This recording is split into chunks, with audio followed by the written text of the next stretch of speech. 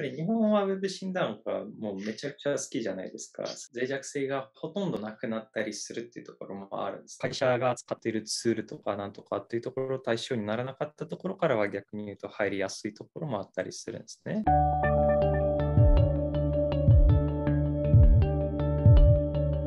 は設計で例えばこの話した内容の通りにだとやってみたにしてもやっぱりその後の確認がめっちゃ必要なのでね、はい、設計通りにはなってるかとかあとはまあ一応設計的にはこの風にやろうと思ってたんだけどあれ実はそうにならなかったとか、はい、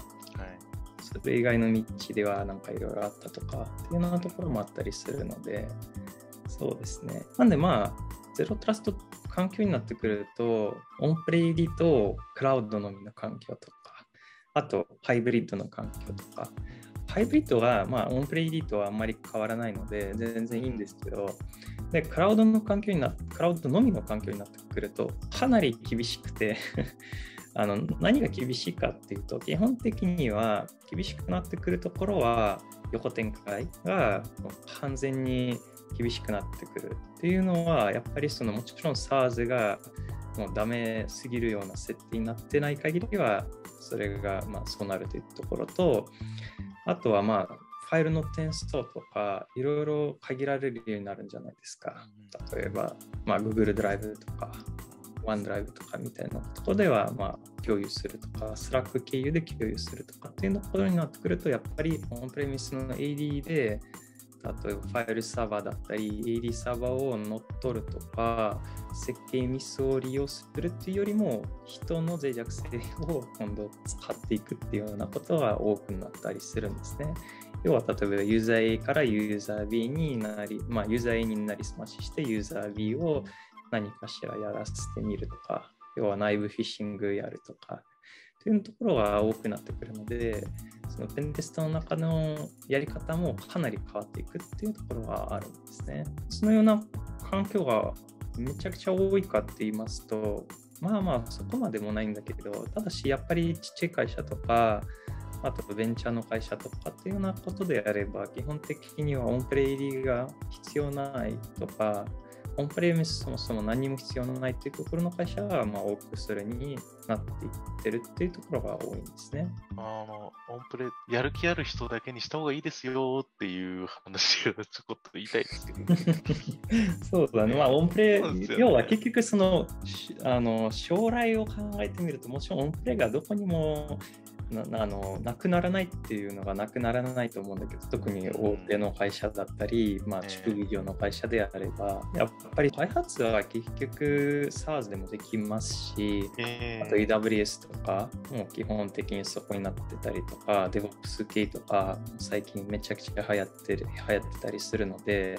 なってくるとやっぱりオンプレの ID が必要があるかって言いますとまあもともとなければ必要ないですしもともとあったところでも可能な限り捨てられるんであれば捨てた方が、まあ、ある意味いいっていうところもあったりするのでそうですねなんで例えば逆に言うとペンテスターの人たちが例えば AD のみを勉強してきたりするっていうところで考えてみるとまあ、それもそれで限界があるっていうところもあったりするんですね。Azure AD の方を勉強した方がまあ、いいっていうよりも、それ追加で勉強するべきだっていうところがあるんですね。確かにペンテスターっていうところの勉これからやっていきましょうっていう人向けだとそうですし、で会社さんとかでも別に、ね、小さな会社さんとかだと MS のサービスじゃなくて普通に Google スイートとかね、自リスイートか使ってるケースの方が多いでしょうし、うん、で、全然 G スイートでデバイス管理ってできますからね。あっち系でぶら下げればいいじゃないっていう、もうそれぐらいの感じですし、もうなんなら、うん。難しいですね、そこら辺も。やっぱり、まあ、はい。デバイス管理っていうことになってくると、あの Windows がやっぱり Azure との連携が強いので、あの特にオフィス、マイクロソフトオフィスとかを買いたい人であればアカウントも作られて、そこでもアカウント管理するようになるとか、ジュリディも勝手に追加されてくるとか、っていうようなところもあったりするし、あとはまあ、そうですね、Google Suite だけで管理していきたいっていうユーザーがいるんであれば、まあ、MDM をどこにするっていう話もあって、例えばその Google の MDM にして、それ全部そこで管理していくっていうところになると、まあ、できなくはないと思うんですね。となると、やっぱり認証をどうするかっていう話、ローカル認証ですね。ローカルユーザーの認証だけにしちゃうのか、それとも MDM が許すんであれば、まあ、もちろんその MDM 経由で何かしら認証をつけるとかっていうところを考えますとか。やっぱり Azure AD になってくると、まあ、Azure AD にそのジョインさせて Azure の認証情報で、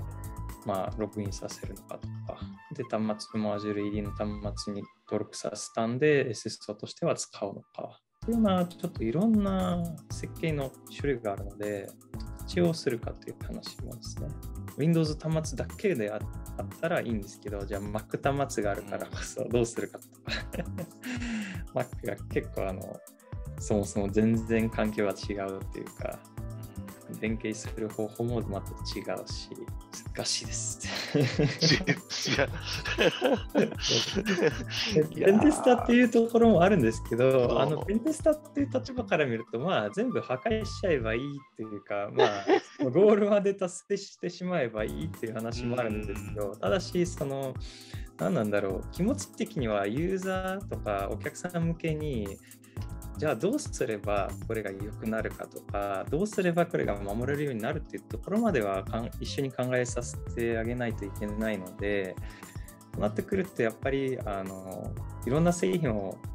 蓋を開けてみるとあこの製品がこれがちょっと良くないなあとこのユーザーのニーズに応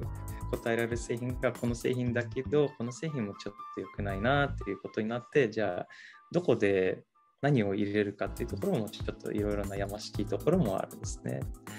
なので、ペンテスターのみっていうよりも、もうそこからは普通にセキセキュリティアーキテクチャみたいな感じとか、もう設計とか いろいろ考えていくっていうところの必要性が出てくるんですね。うん、私も普通にペンテストじゃなくて、まあ、ハードウェア系の方最近見てますけど、中身開けてみたら、なんだろうな、なんか一般のユーザーが触れないようになっているエリアのところにいろいろとガジェットがいっぱい置いてあってですね。でも似たような話で言うと、あの IoT じゃないけど、この前ってあの何回か発見したやつで言うと、脆弱性とか、あの HP とか ASUS とか、まあ ASUS は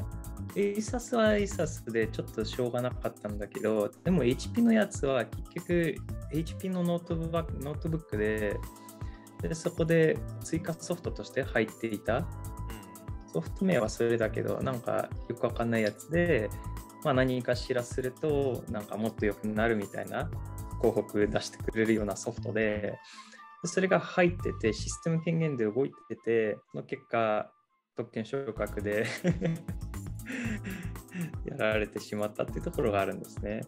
なんで最近のお客さんにやっぱりおすすめしてあるのは何かしらパソコンとかを用意した中でもやっぱり例えばその ASUS とか MSI とかいろんなノートパソコンを買うんだとだろうけどでもそこからは必要必要性のあるやつだけを残すとか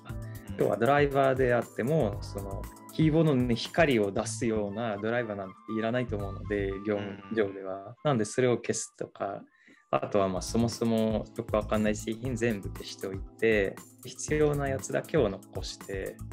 っていうところをもう結構おすすめしてるんですね。じゃないとやっぱり結局そのアタックサーフェイスが広がるだけなんでやっぱりお客さんの環境によってユーザーにそのローカル管理者権限を渡していないとか。この前の案件であればそのローカル管理者権限があったらもう全部終わってしまうようなこともあったりするんですね。特に MDM が入ってる場合はそれが多いかなと思うんです。なぜかというと MDM やっぱりそのシステム権限とか高権限で動いていて守ろうとしているところはユーザーからも守るっていうところもあればあとはもちろんその端末がちょっと失ったら、まあ、そこで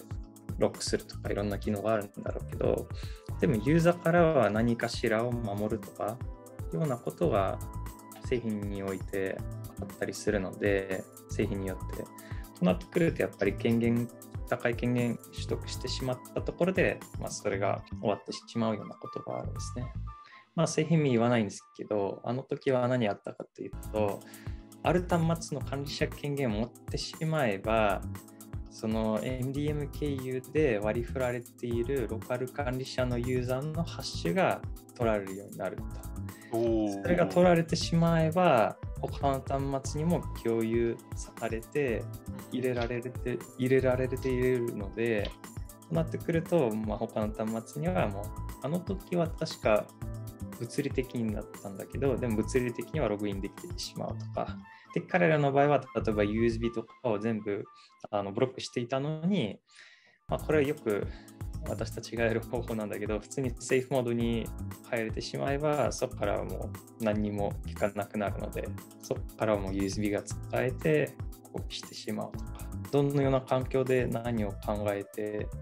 作っているってところの解析がめちゃくちゃ必要。あの私個人としてはあれですね、マイクロソフトさんのあのコンフィグレーションマネージャーのソフトウェアセンターとかめちゃくちゃ大好きなんですけど。いいね。いいですよね。あそこで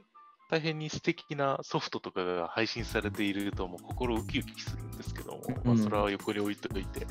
ね、確かに、うん、ね、あのー、私も見てたやつで、某社のラップトップとかも、あのドライバーを自動的に更新情報取ってきて、自動的にあのそれをアプライするあの、うん、サービスが走っていてですね。そう。あのそこをユーザー権限じゃないところがミストなんです。サービスなんです。だから、タスクマネージャーとか開いたり、プロセスモニターで見てると、もう、ボコスか外に通信するわ、そこにエクゼが書いてあればダウンロードしてきて、システムとか言って、ポンってプロセス上がったり、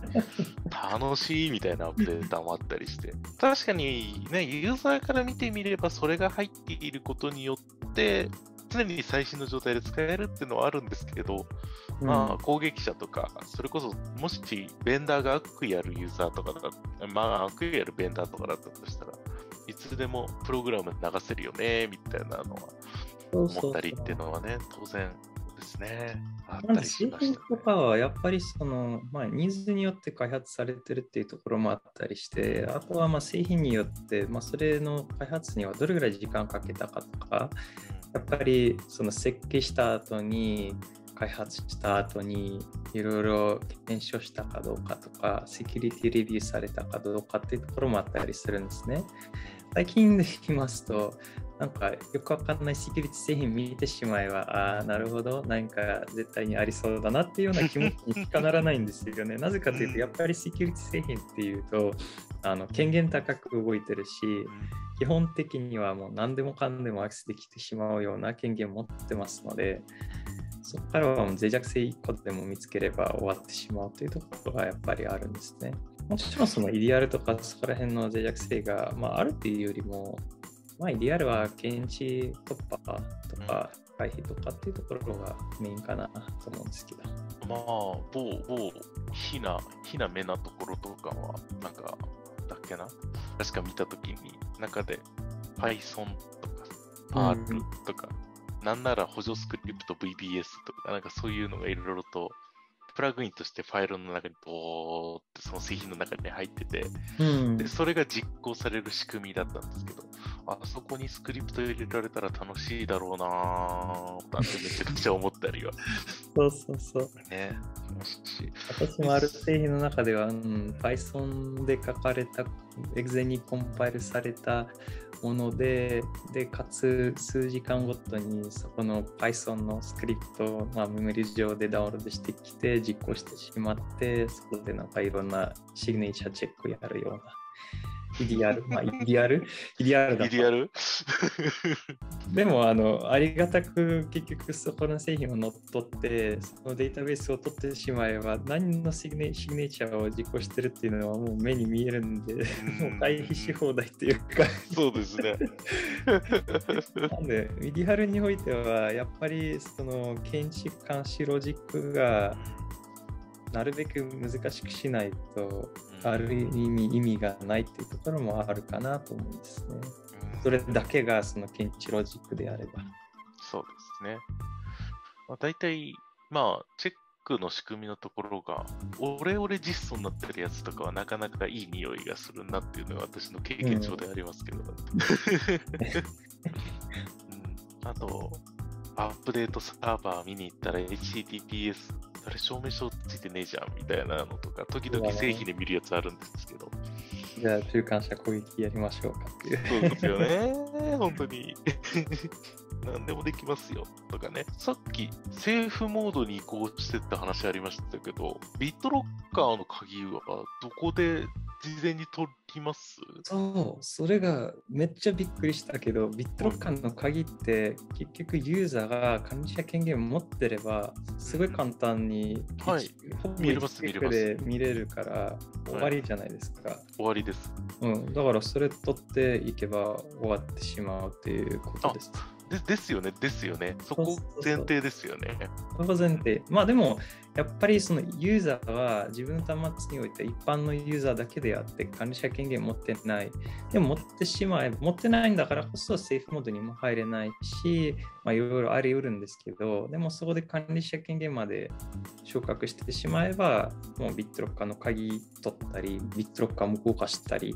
とかももちろんできるので、それしてしまえばもうセーフモードに入り放題っていうところもあるんですね。なるほどですね。いや、冒頭で Azure の話があったので、そっち側からリカバリーキー持ってきて、ノーマル状態のまま繊維かな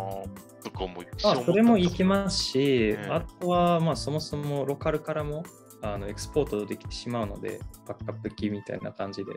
え、でもそっちローカルの場合は権限いりませんでしたっけ？そこも管理者権限が必要だ、ね。必要です、ね。もちろんその Azure にあの所属している場合はもっと簡単になるっていうことがあるかなと思うんですね。ああ、なるほど。なんで Mac の場合はまだマシかな確かにそうですね。Mac の場合はやっぱりローカル管理者のユーザーも、まあ、その分かる必要があってそこは分かって、まあ、リカバリーモードに入るためにもそれが必要ですしみたいなことがあるのでまあパスワードが難しくてわからないようであれば大丈夫かな。特権昇格してしまえば多分変わらないと思うけど。うん、Windows 11で TPM 有効になって、まあ、ていうか必須になってっていうのやってて、うん、私ちょっとまだ Windows 11のその辺の周りは検証できてないんですけど、なんか、ルスラーさんの方はすでに検証されてたりします？まあ、多少は見てましたけど、10と11の差っ、まあ、TPM が両方ともあったんじゃないですか、もともと。まあ、えー、VT があくまでそれが必須になっただけなんで、うん、っていうような感じがあるので、自分あのどどっちかを見てたかっていうとやっぱり TPM に保管する保存するような仕組みだったりとか、あと証明書がそこに入ってる場合はもうエクスポートがまできないでしょみたいなこともあったりするのでで自分が検証したのが Windows 11のその、まあ、10の TPM っていうよりもじゃあ例えばその針に証明書が中に入れ入っていた場合は何ができるかとか。でその Azure AD にあの入るための SSO があると思うんですね、端末においては。でそこで PRT トークンっていうやつがあるんですけど、その PRT トークンっていうやつは基本的に鍵としてメモリ上に保存されてるか、まあ、LSAS に入ってたりとか、あとは TPM に保存されている証明書が、その TPM に保存されてるかとか、確かあのディスクに保存されてるかというところによって変わったりするので、で、TPM に入ってる場合はもう何にもできないかっていうと、そうではなく、あのある文字列を渡したら TPM がそれを証明してくれるっていうことができるので、となってくると、まあ確かに TPM からはプライベートキーが取れないんだけど、でもあのだんだんいろんなコンテクストでその証明したい情報を渡してあげると、まあ、証明してもらって、それを使えるようになるところの実現ができるので、まあ、ある意味、攻撃者としての目線から考えてみると、まあ、それで十分な場合もあるっていうことはあるかなっていうことですね。あとはあの証明書が TPM に入るところは入るんですけど、でその証明書客、っていうところがどこっていうことが多分結構大事で、この前のあのどっかの案件では結局 EDCS、あのオンプレの CS が使われたりしてそこになってくるとまあ確かに証明書が TPM に入っているんだけどっていうことを考えてただしじゃあその TPM に入るっていうようなチェックが必須になってるかとかまたは TPM がある端末においては TPM に入ればいいとかっていうようなチェックになってるかっていうところによって ADCS 側にはもう一回不証明書をくださいっていうところの依頼が送れるので、それを受けたところで、その証明書を取得できないかっていうところの検証もできるというところですね。でまだできてないんだけど、多分インチューンとか、そこの辺の MDM 経由で SCP っていうプロトコルあるんだけど、シンプルなんとかっていうプロトコルでその証明書を一緒に入れてくれるような仕組みっていうようなやつがあるんですけど、まあ、そこのプロトコルをもしかして同じような実装をしてインチューンに頼んでくれれば証明書が仮に TPM に入っているにしてもまたもらえるかもしれないってなってくるとやっぱりその端末が乗っ取られて、まあ、システム権限が必要だろうけどシステム権限をもらえてからもう一回署名書をくださいっていうようなところで、インチューンに聞いてくると、まあ、もしかしてもらえるんじゃないかなっていうところのちょっと推測があるんですね。となってくると、やっぱり TPM に入ってるだろうが、入ってないだろうが、保益者としては、その生の方、あの証明書をもらえてしまえるっていう可能性があるかなっていう。なんで検証しようと思えば、まだいっぱいいっぱい ありますっていうところですね。そうですね。いや確かにそうですね。そっか、インチューンの SDP の証明書プロファイルとかこの辺持ってこれたら確かに夢広がりますね。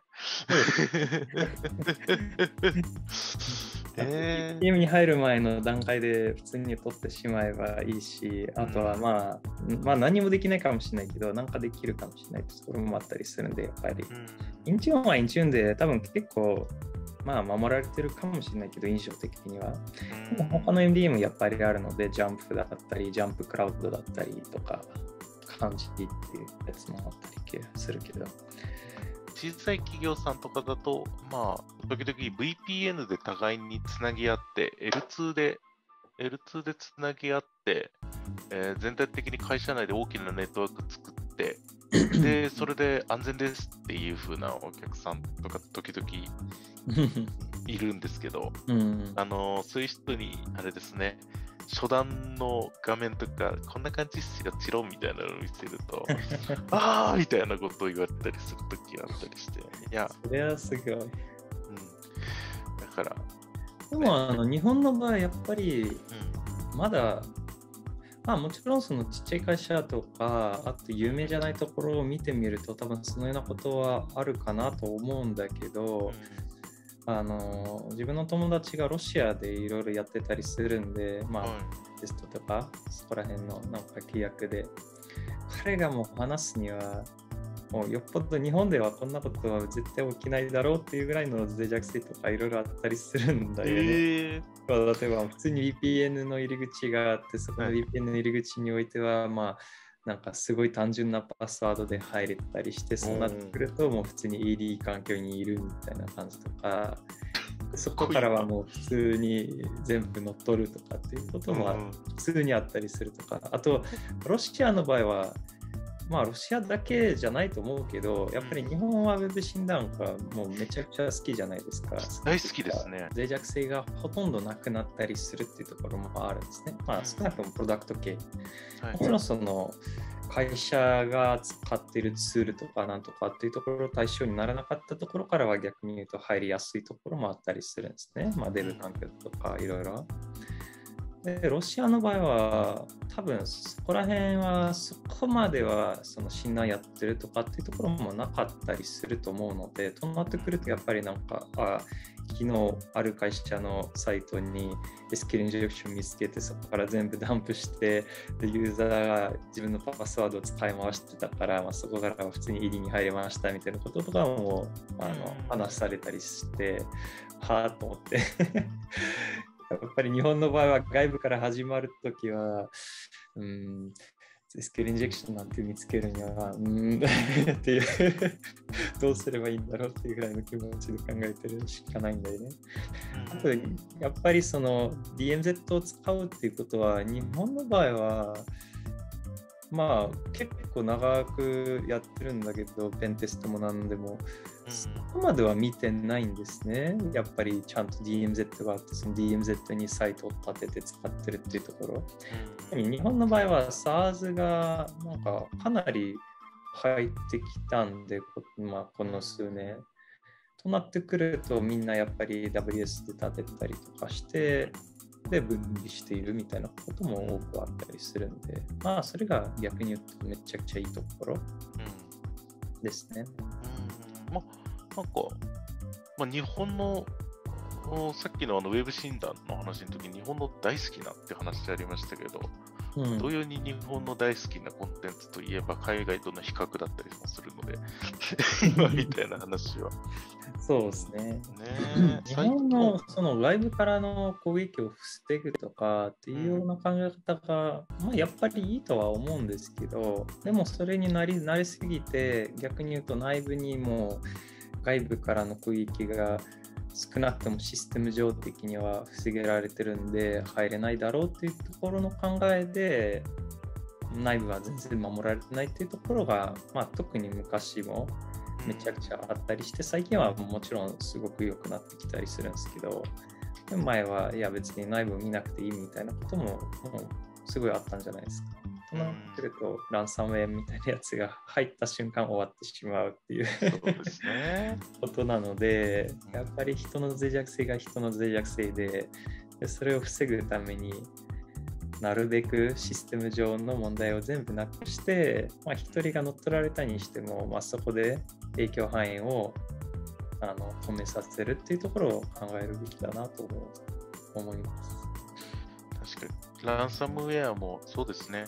あの、ランサムされて終わりじゃなくなってますしね。まあ、最近 IPA さんと侵入型って書いてましたよね。まあ、実際のところ、まあ入っていって、で、情報を持ち出したり、いろいろやってみたいな話が、もう最近の主流でございますね。そうだね。でも、もともとも 普通にそんな感じがしていたけどね。まあ、もちろんそのランサムウェア的な動作で、まあ、入れて、少しいろいろ乗っ取って暗号化してっていうところであれば、昔は多分全然できてたと思うけど、でも最近はやっぱり、なんか小さな会社以外のところ、まあ、そこまでフラットじゃないとは思ってたりするってところもありますし、あとはまあ入れてしまえば、まあ、初動でやった方がもちろん効率もいいしっていうか、まあ、ちゃんと何を取りたいかっていうところも分かりますので、まあ、銀行系であれば暗号化するっていうのも多分最終的な価値があるんだろうけどでも暗号化する前にはなんかいろいろ SWIFT を使ってお金取り出してっていうところの方が多分儲かるんじゃないかなと思うんですけどね、こういう者としては。個人情報の売り出しはまあ、正直いくらするかはちょっとわからないので、そんなに価値あるかっていうと、まあ、個人的に何とも言えない。うん、やっぱりお金持つようなところ、特に仮想通貨じゃないですか。うん、仮想通貨みたいなところであれば、まあ、脆弱であると、やっぱりお金の送金とか、コインの送金して、そこからはまあ売買っていうすることで終わってしまうっていうことが一番多分攻撃者としては望ましい。うん、面とかもめちゃくちゃやられてたんじゃないですか、いろんな。そうですね。まあ、まさしくその侵入型で、え、ー、と、まあ、侵害端末から管理サーバーであったり、まあ、まさしく今回のお話ししていた点ですけどね、管理サーバーを経由して、えー、まあ、そこから機微情報を保存している、まあ、マシンだったり、サーバーだったり、何でもいいんですけど、そういうところに対してそこまでアクセス権限、まあ、どんどんどんどん入っていって、で、ランサムしましょう、みたいな話っていうが最近のテーマでよく出ているところでもありますので。あと、ユーザーに、まあ、なんか知識を持たすためにいろいろ勉強させるとかっていうところは多分全然できると思うんですけど、そうですね、でもどっかのタイミングで別に私とかでも開いてしまう可能性もなくはないので、うん、例えばなんか起きたばっかりでなんかやばいやつが来てまあなんだろうわかんないけど何でもいいいうやつにクリックしてしまえば、まあ、何か起きるかっていうと、まあ、それが基本的には多分ないんじゃないと思うけどね。例えばブラウザのゼロデーがない限りは。で、そこからも乗っ取られたっていうところもまああり得る話ではあるんだけど、でもそのような脆弱性は多分私とかじゃなくて、もうちょっと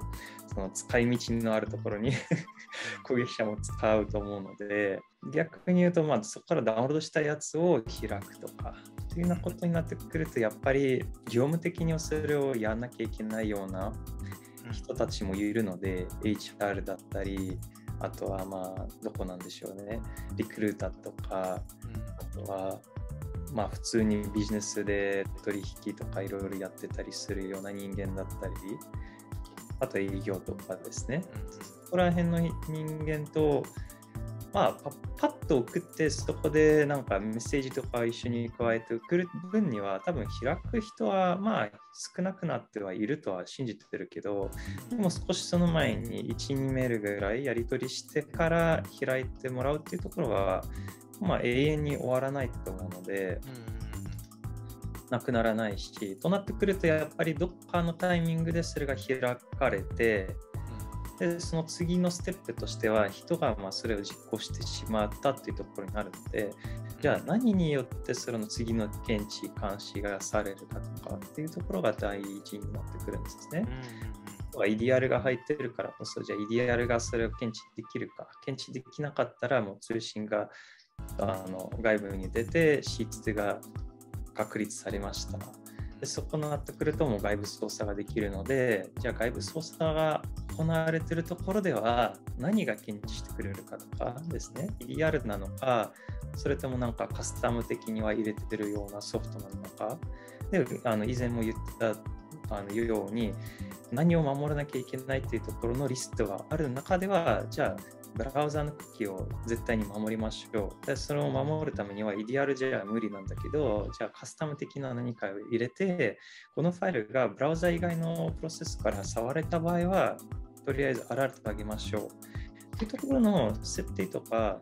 まあ、設計してしまえば、フォルスがあったりするかもしれないけど、でもそれでも多分整理ができるっていうところで、でも少なくともそれが検知できるようになるような仕組みが出来上がるということですね。となってくると、まあ、入れました、感染できました、外部操作できるようになりました、ユーザーのパスワードが乗っ取られました、けど、クッキーが取れてない。クッキーが取れたのに、ほぼすぐにそのユーザーに全ての機が無効化するために、まあ、依頼投げるとかっていうようなことで攻撃者はそれ使えなくなるとかっていうようなこともできると思うのでなのでまあいろいろ体制も考えなきゃいけないし設計も考えなきゃいけないというところが大事ですね。ラスト防御という 意味では。はい。えー、本日は、えー、ルスタナさんをお招きしていろいろと伺いました。まあ、皆様もあのこちらの動画を参考にしながらですね、いろいろと、なんでしょう、守り方の検討であったりとか、まあ、もしくは自分たちのところで、じゃあ実験的に攻撃やってみましょうというふうなお話であれば、じゃそういう観点でちょっと眺めてみようとか、まあ、いろいろなヒントとして活用いただければ幸いでございます。ということで、えー、本日はどうもありがとうございました。ありがとうございました。じゃチャンネル登録よろしく。この辺出るんですかね。こう古いですよ、これ。もう古いか。